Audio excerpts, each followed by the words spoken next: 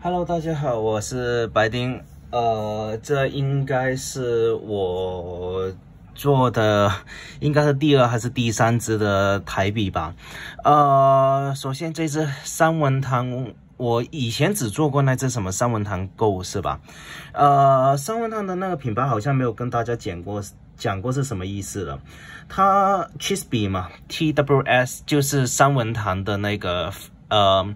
应该是拼音或者英文倒过来的，然后 B I 就是笔，就是很粗暴的，然后就把三文堂倒过来，再加个笔，那就成为三文堂的一个英文了。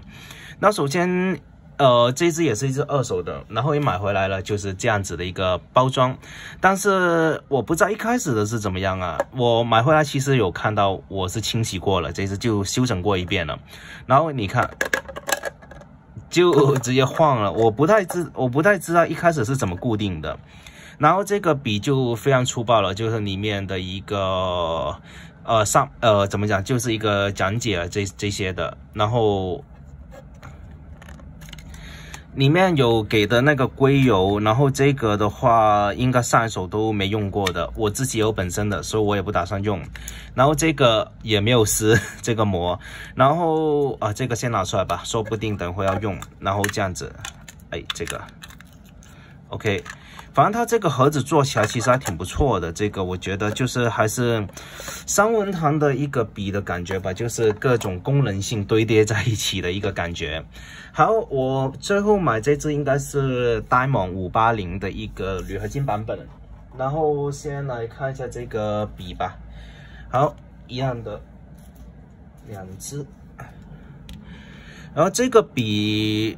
你们现在一看到，应该是有点傻眼的。那你看，非常短。那基本上，为什么说它是一个很功能性的笔啊？等会就知道。那首先这样子，笔的话，笔身基本上这个长度吧，我就这样握，你看就够不到了。所以说，它这个笔一定是这样用的。那基本上就是就是怕有时候这个笔夹会卡到手，那其他的没什么大问题。那这么短的一支笔，但是出墨量来讲的话，跟百丽金比应该是差上一截的。然后我们先这样子啊，OK，好，那一个，OK。好，这个笔尖的话，那基本上就常规的百乐五号尖或者国产的二十六号尖这样子的一个大小。然后它这个用的，我估计是我不太会，我估计是史密特吧，应该不是 Jovo 吧？这个尖的话，因为说实话，Jovo 和那个史密特的一个小尖，我不太会分了，他们两个的。呃，但是这个形状的话，又有点像是 Jovo 的，因为。呃，三文堂老笔它是用那个史密特，新版都是换成 Jovo 了。嗯，然后再下来看，首先看到了，它这支笔虽然说比较短，但是有一个特色就是说它这个触摸量会比百利金的这支少一点。那我们来对称的看一下，你看这个扫墨量、触摸量会少了这一节。然后呢，再下来的话。笔身的话也会比百利金重，就是你一开始看好像这支笔很不错，但是我不知道塑料版本的铝合金版本肯定是比塑料版要重的，这个是不用考虑的，因为像那种什么钛金属啊这一类的，它肯定是要到一定的一个呃怎么说质量以后，它才会。跟别的东西比起来才会明显轻，但是塑料本身在大的东西它的承受力是有限的，所以说钛金属要到就金属类高分子材料要到一定的质量上面，它才能钛金属才能体现一个怎么样它的一个重量优势。那像普通的一支笔的话，其实金属一定都会比塑料重，这点是肯定的。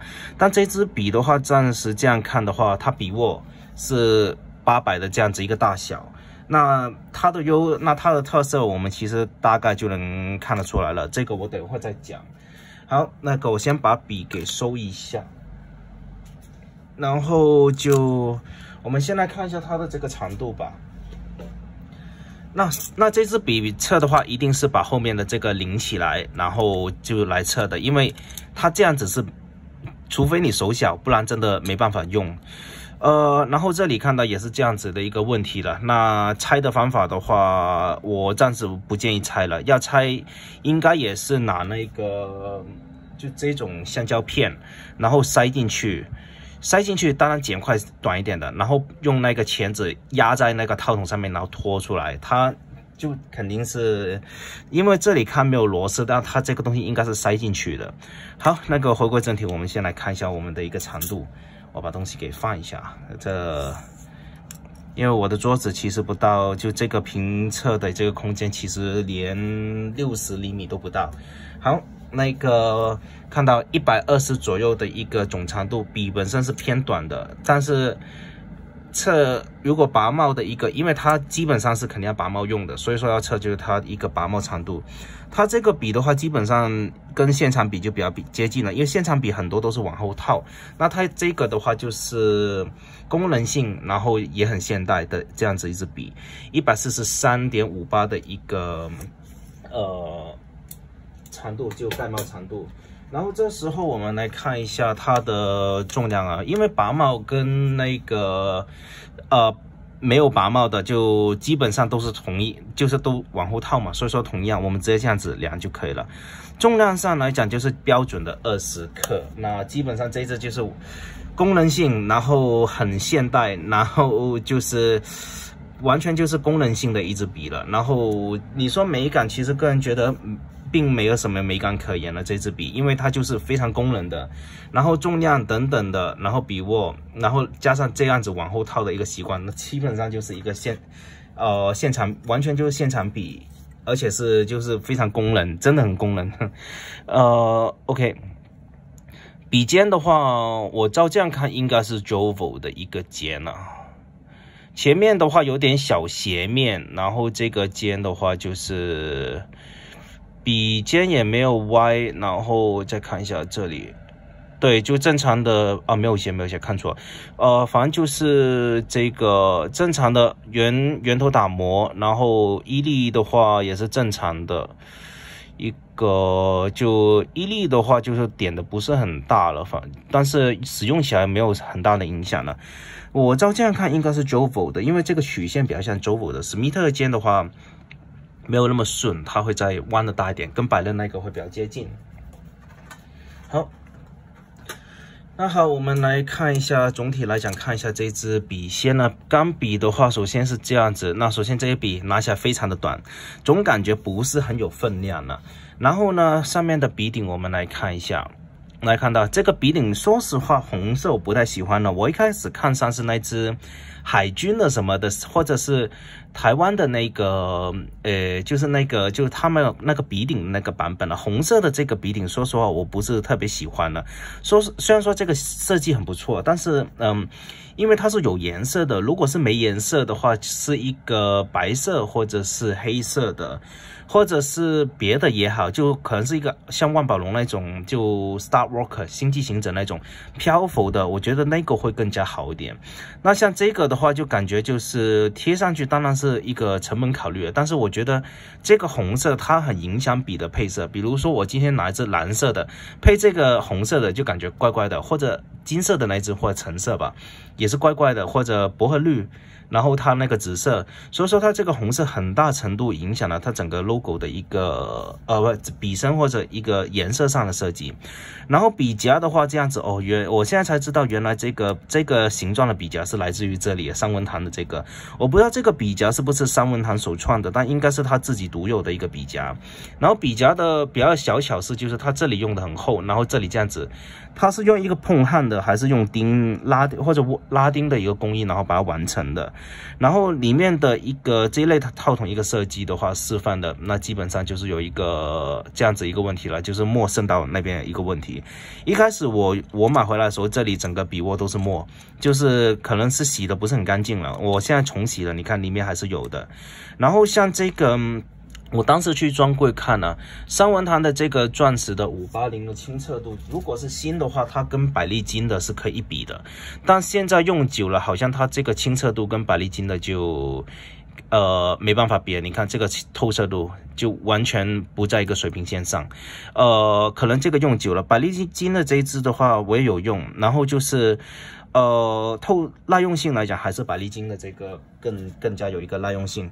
但是我第一眼的感觉的时候，它当时是非常透的。其实就是我我去就是店里面去看过，呃，这支我不知道那个卖家用了多久了，反正就是酒它这个塑料的一个。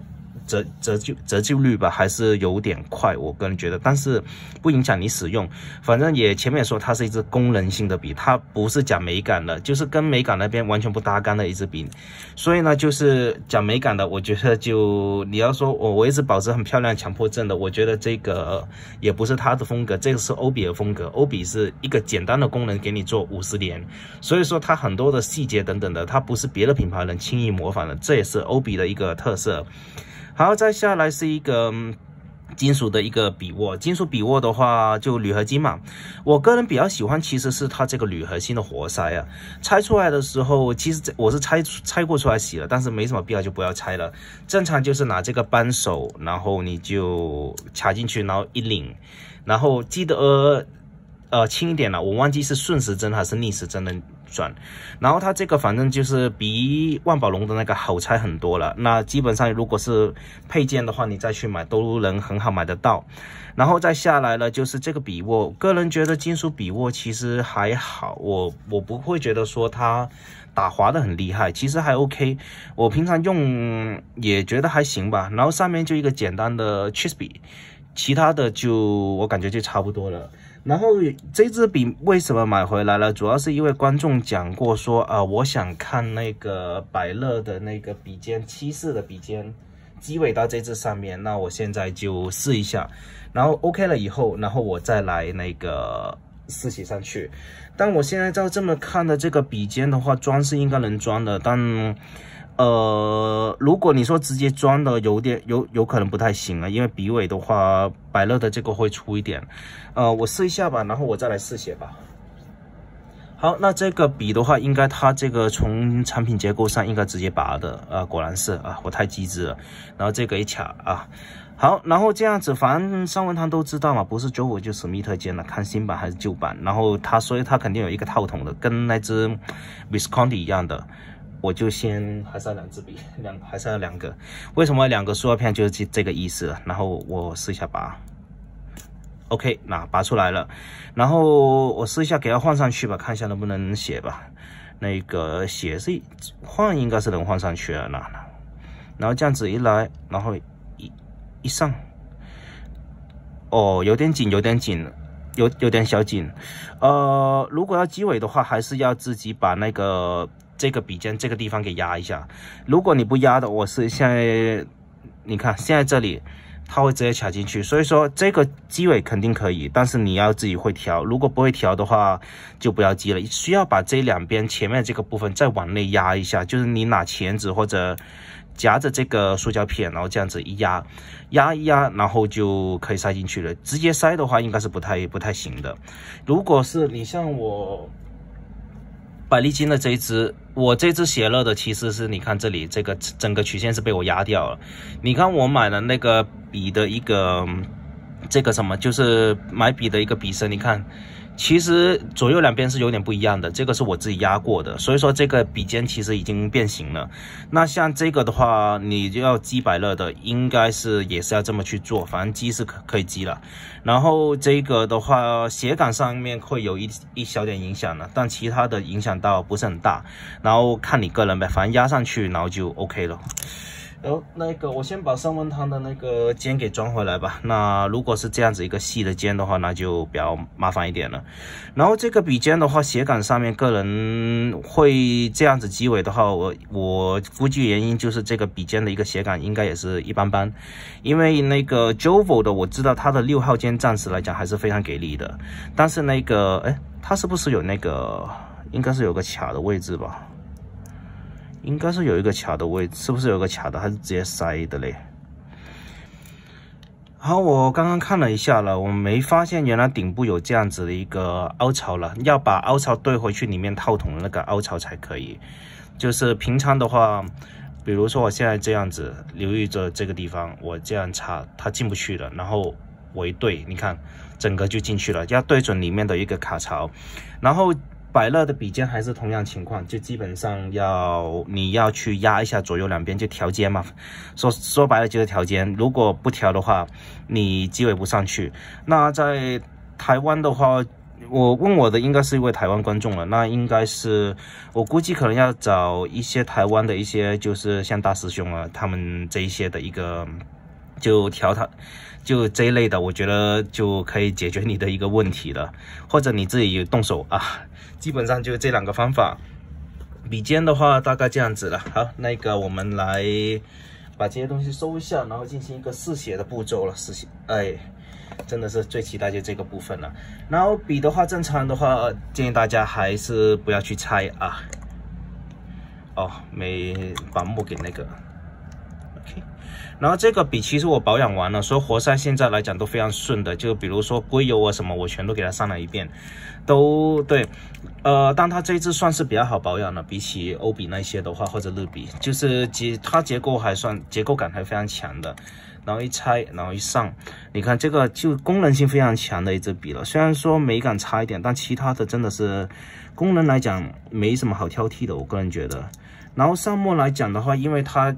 上墨的话，这个行程也比较短了，所以说上的墨也有比较有限。OK，好，我就上一点吧。然后啊，还是需要去搞一张纸巾啊。对，好，回来了啊，这一个万东万西的啊，总是好。这一个笔 OK OK，好，搞定。那个试写一下。呃，个人觉得还是百利金的那个笔尖比较容易 容易去调，这个有套筒的，一调起来就相当麻烦了，而且对那个笔尖的写感影响也是比较大的，我觉得。好，那个试写一下吧。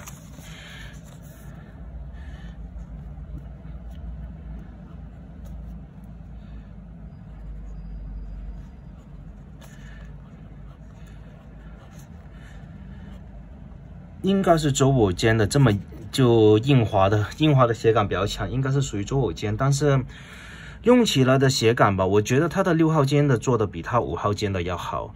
五号尖的话做的比较好，还是日三家还有百利金的，他们这些品牌的做的比较好一点。反而是史密特跟 Jovo 的话，我觉得以前无印的那个史密特还是那个还是很好的，毕竟我用了很长时间。但像这个的话也不错，其实也不差。但是如果给给给我选，我还是会选择日三家，或再加那个嗯百利金这几个品牌，或者富丽文，我更愿就是更愿意去选一个有品牌的，因为这个写感说实话不是很出色，我个人觉得这支笔写起来的重配重感，其实呃你要习惯一下，因为平常用钢笔的人都是有一个倒。倒插帽的一个就是帽，就是笔帽不会倒插。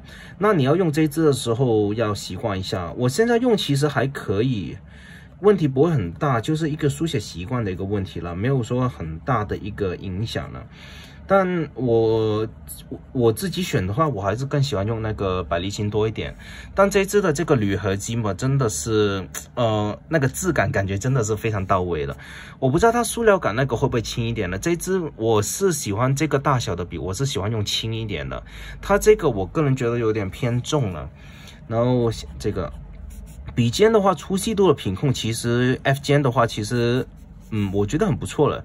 其实功能性来讲，真的没有好挑剔。这个，这这真的很不错。但是如果你说要一支有特色的钢笔来讲的话，以它这个实用性来讲的话，我觉得就没什么可比性。它就完全追求实用的这样子一支笔了。那你说跟他讲美感讲什么的，我觉得真的是有点强人所难了。然后压尖的话也不是特别的明显了。然后再来三百六十度写一下。嗯，基本上不太行了。这边的啊，写不这个就写不出来了，应该。哎，这边可以。反正就是不是每个角度都能写了。品控上来讲，那个我再拿一下那只水人的，因为我主要用的就是水人。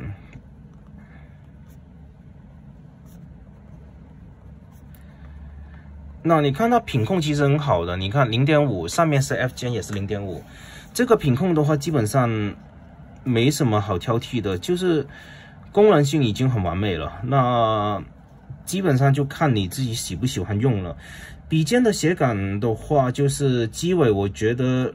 反正就是，如果它是有套筒的这样子一个结构的话，你基本上都要花时间去调整，那这个是没有办法，因为结构问题嘛。百利金的那个就是一个环，所以说很好机位，所以我也很喜欢用这个品牌，原因也在这里，就是我要换其他东西的时候。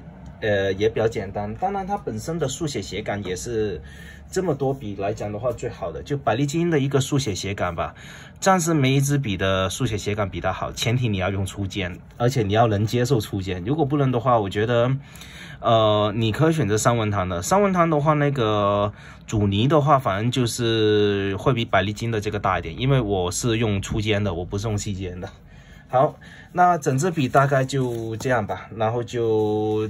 呃，喜不喜欢看个人呢。这个就如果实用性的话，我觉得这样子一支也很足够了，也没什么好挑剔的。好，那今天的视频就到这里吧。那有什么问题，下面给我留言。然后有什么讲漏了，麻烦帮我补充一下。我们下次见，拜拜。